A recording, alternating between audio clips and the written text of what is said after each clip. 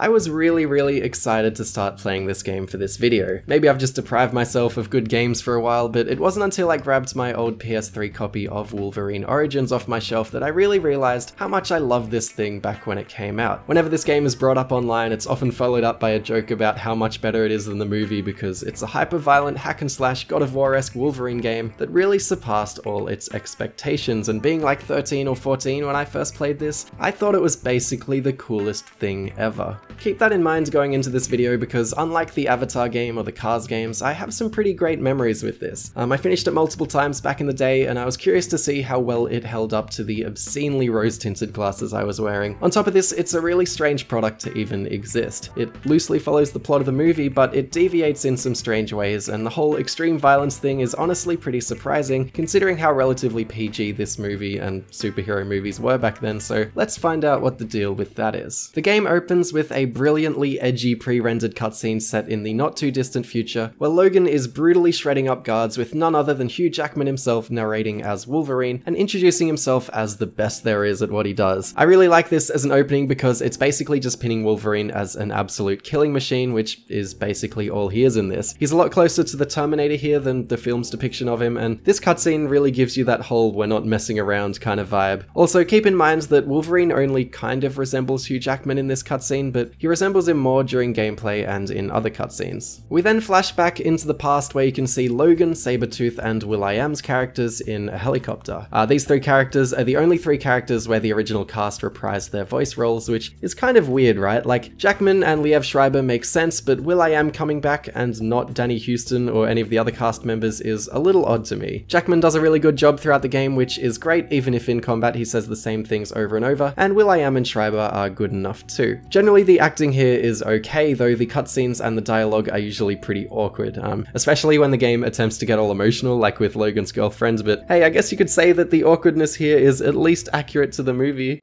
Kuekuatsu got screwed. Kuekuatsu, the Wolverine. After literally two lines of banter that explain nothing, the helicopter gets shot out of the air, and you fly down to Africa in what's a pretty cool title card. Uh, the first thing I noticed playing this was how incredibly bad the frame rate is. I'm always surprised by how I used to not really care about poor frame rates when I was a kid, because like, Jesus, this ain't good. Um, eventually, I got used to it and I generally stopped noticing it. Like, a lot of the time, it is a lot better than it is in this first area, but it's still really bad, and it, sometimes it's even worse. Um, I think I think the PC port is the way to go, because reading old forums, people seem to think that it was a pretty well done port, but I have no experience with it or how it runs on modern hardware, so take that with a grain of salt. The second thing I noticed was how goddamn violent this game is. Like, the violence here is next level and I love it. You can dismember heads and limbs and cut people in two and impale people and really just chaotically shred up every enemy you see, which is exactly how Wolverine should be. The sound design goes that extra mile by having constant blood splatter sounds, which is coupled with the metallic slashing noises from Logan's claws it all just makes it that much more cathartic.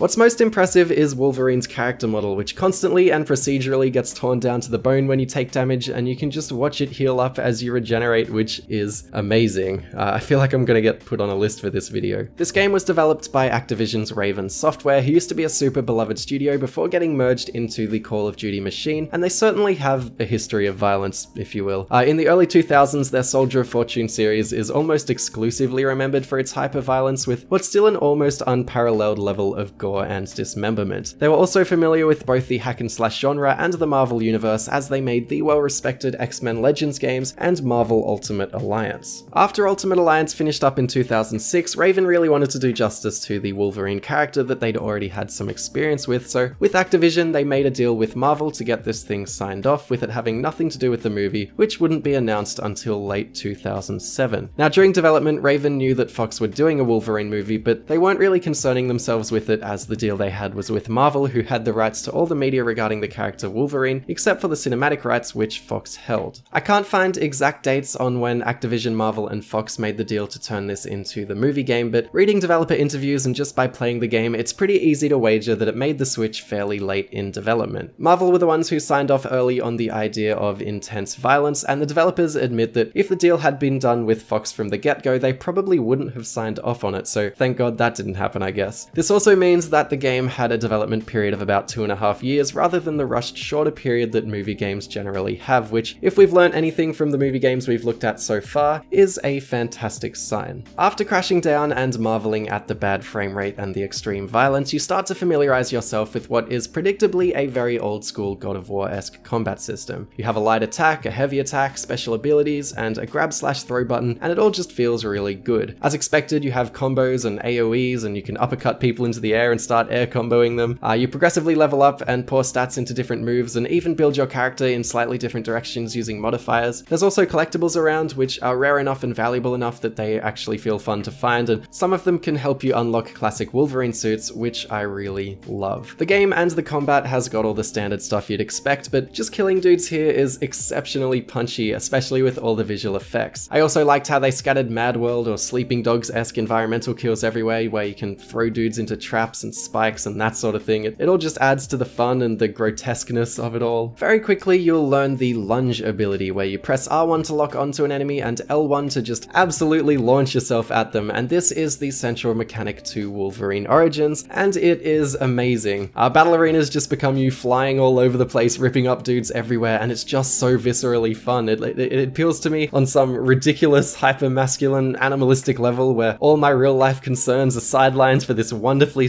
silly combat system. Um, funnily enough, it reminded me most of the feeling Doom 2016 gives me. I know it might not seem obvious why, but if you've played it, you know that that game did everything it did to keep you moving towards the enemies and keep you in the action. Like, it was super important for that game to always make you feel like that you were the powerful one and you were the aggressor in every encounter, which, for lack of a better word, just made you feel badass. And the same thing can be said about X-Men Origins Wolverine. Uh, it's an incredibly cathartic system that is amazing for letting off steam, which thematically works a treat because Logan is badass and pissed off throughout the entire game. After some fun set pieces in Africa, including one where you lunge between boats which is super fun, the game then jumps from the past to the current timeline where you're having a weird chat with your girlfriend before you're facing off with Sabretooth in and outside of a bar in the form of a boss battle, which is pretty fun. Sabretooth wins the fight in a cutscene after you defeat him in gameplay of course, he then kills your girl, destroys your claws, and then Stryker, who looks nothing like Danny Huston appears out of nowhere to offer you the adamantium deal. Uh, unlike what we saw in Africa, this scene actually does represent events that happens in the movie, even if it's not super close. Um, the game quickly then cuts to a very, very well made pre-rendered cutscene of the adamantium procedure. Like, this cutscene in particular looks a step above all the other cutscenes, even the other pre-rendered cutscenes to me, and then after that, you play through a level breaking out of that facility. It's mostly really obvious what was developed before the Fox deal and what was developed afterwards. Like, at any given time, the game is either super obviously based on the movie, or it's basically nothing like the movie, and you're like fighting robots in a science lab or giant lava monsters in ancient African ruins, or in cutscenes, Wolvie looks like Hugh Jackman, or he doesn't look like Hugh Jackman at all. Um, structurally, the game jumps between flashbacks set in Africa and current time levels throughout the entire game, hinting towards some mysterious event which happened in Africa that you find out right at the end of the game. This event represents that one from the start of the movie, but it's really quite different here. Um, along with being revealed right before the last level instead of at the very start, there's no tower bit, and it actually plays during daylight. Uh, the general gist of what happens is the same, yet it all plays out in a pretty different way. Like, only Stryker, Wolverine, Sabretooth, and Deadpool are here, with this being Deadpool's only scene in the game before he turns into that weird monstrosity. Whereas in the movie, there's a whole cast of baddies in this scene. You do go after a lot of the guys from the movie in the game as revenge, but they're not actually in this cutscene, which is really quite weird. Just generally in the game, that's kind of what this is like story-wise. It's it's a bit of a mess, and it rarely lines up with the film. Like that scene in the movie where Wolverine fights that guy who's really good with guns in that helicopter kind of plays out in the game. Like, it's set in an entirely different place in a facility in the snow during nighttime, and it's all quite different, but at the end, you do take him down in a helicopter and use his headset to chat with Stryker, just like in the movie. Apparently, the movie is plagued with rewrites, which is why it is how it is, so it makes me wonder if this game is actually more accurate to the original script in some ways, because the differences when it is trying to be based on the movie seem pretty superficial. Either that or the late Fox involvement just made them reshuffle and rework what they already had and sort of try and merge it into the movie. If I had to guess, it's probably a bit of column A and a bit of column B. During the facility breakout segment, you're treated to one of this game's very few but very welcome top tier A grade comedic gags. Yeah,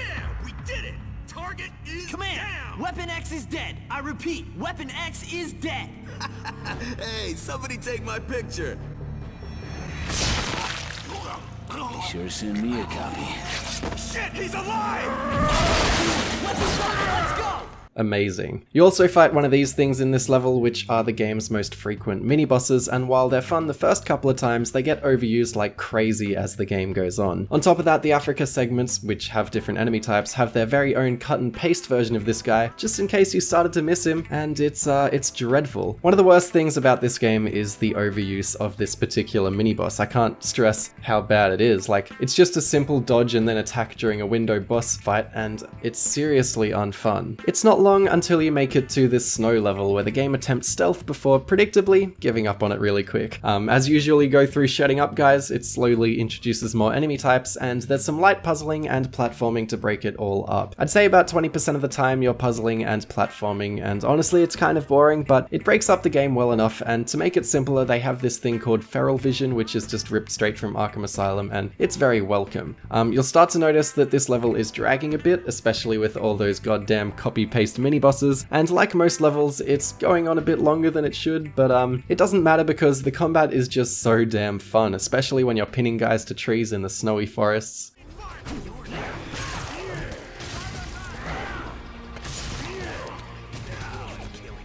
The level ends with the boss battle with the helicopter gun dude that's broken up into segments, and at first it's really refreshing only because it's a boss battle that isn't this. Um, I managed to kill him extremely easily, but then in the next cutscene he was alive and the battle went on. I have no idea what happens here, I have no idea if that was like a decoy or something, or if I actually broke the game. Uh, generally this entire game is a bit janky like that. Uh, you then start fighting him in this helicopter on the roof, and he shoots these guys in containment chambers, who start to mutate into something which I was sort of getting hyped for when I saw it happening because I was like, man, these look like they're going to be a new type of mini boss. But then the character model literally switches within like a single frame to the same old mini boss, and it was the biggest eye roll I had through this game. And then you fight like six of them in a row after that, so it's just the worst. Like, I was enjoying this boss battle up until this point because it was a break from these mini bosses, and then it just spams you with more of these annoying ass mini bosses. After some more Africa stuff, you're introduced to a level set in a pristine white science lab that seems to be built into some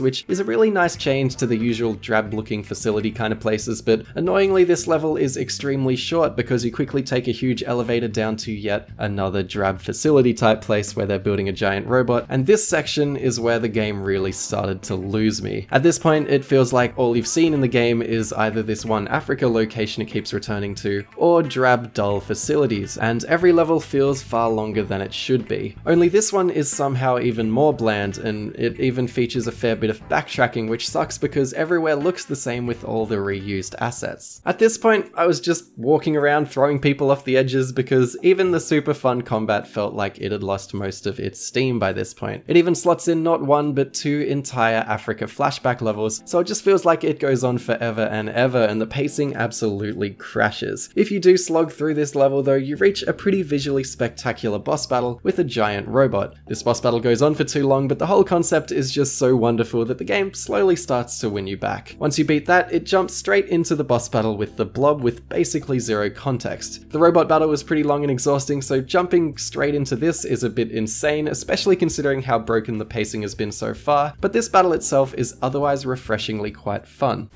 Whoa, Wolverine hurls these fat jokes at him the whole battle, which is great, and you ride him around the grocery store smashing shelves, which tanks the frame rate, and it's just wonderful. It's quick and short and feels thrown in for the sake of the movie, even though it doesn't even match the location in the movie, but it's still really fun. After this double boss battle bonanza, you then suddenly find yourself in another fun but tiring third boss battle with Magic Mike. It's crazy how this game has an extremely long, repetitive, boring stretch followed up by three boss battles in a row, each of which are better than the last. Like, each of these could have had a better build up and been paced out throughout that boring bit, but this game doesn't care and it just smacks you with these back to back to back bosses out of nowhere. Gambit escapes in your first fight with him, and you're treated to what I think is the best level in the entire game. It's set in a Vegas casino with a great city backdrop where you're going in and out of the building, climbing to the top, and Gambit introduces his own troops with these guys, which are really fun to fight, and throughout the level they're fighting against Stryker's troops, which is just fantastic. I've said it before, but I absolutely love it when games have different factions fighting each other without your input, like there's always something really cool about that, and it's done well enough here. You spend the level jumping in and out of fights with Gambit, and there's great set pieces, and it's not a facility thank god, and it just generally refreshed the game a lot for me. You then flash back to Africa for the final time. I've left it until now to complain about these sections because I feel like this problem is at its fullest effect with this final flashback. You finally beat Gambit in this spectacular scene and you're about to go to the island to finish the game off and then, nope,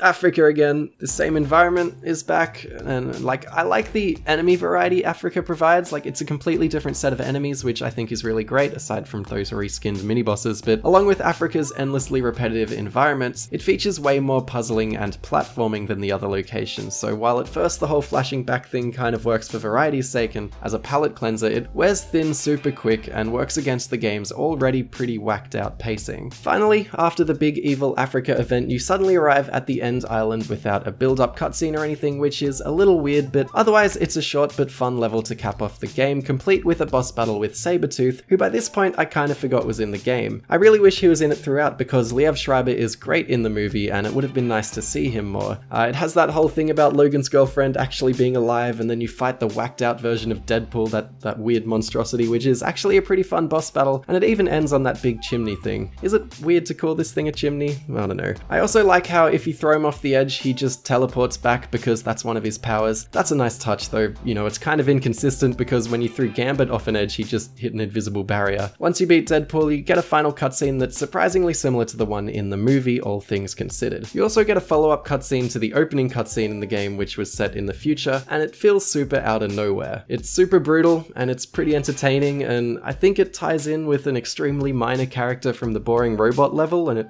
you know, kinda sets up a sequel-ish? Like, it feels like this cutscene is left over from the pre-Fox version of this game. Well, I mean, obviously it is because it doesn't look like Hugh Jackman, and this game just ends up feeling super mishmashy, and, and this particular scene feels super mishmashy with the rest of the game. This whole thing is just such a patchwork, yet it all kind of ties together because it's still just an angry Wolverine killing dudes. You barely need an excuse for that, and sort of the gameplay harmonizes with the whole being really angry and wanting to kill everything thing so well that all the story just fades into the background. Um, at this point, I finished the game feeling pretty damn good about it. There was a little bit of a sense of relief once it was over, which is a really bad sign, but for all my complaining about the mini bosses and the huge pacing slump, Wolverine Origins really won me back by the end, and the combat is just so, so satisfying that it really elevates it beyond its shortcomings. Like, this is a really janky game that can come across as quite sloppy, but at the end of the day, Wolverine Origins is like really good, greasy fast food. Uh, it ain't game changing, it ain't clean, it ain't well made, but if you're in the right mood, it's perfect and it's exactly what you're after. I'm kind of hungry now. I wish this game got a sequel because there are some things it could iron out and just be an amazing, perfect game, but otherwise I still strongly recommend this. It's really, really fun. Um, it's not a huge deal, but the game is far too easy on medium difficulty and you can't unlock hard mode without beating the game once on either easy or medium, so if you pick this up, see if you can load a save into it somehow so you can play on hard mode, but if you can't, it's still definitely worth a play. Raven would go on to release the 2009 Wolfenstein reboot as well as Singularity, which are both pretty interesting games in their own right before just becoming another Call of Duty support team. How good's Activision? This game also got releases on PS2, DS, PSP, and Wii, which look kind of interesting in their own right, so maybe I should go cover them sometime, though I really need to stop saying I'll do stuff like that because I have so many ideas that I want to cover. But um, otherwise,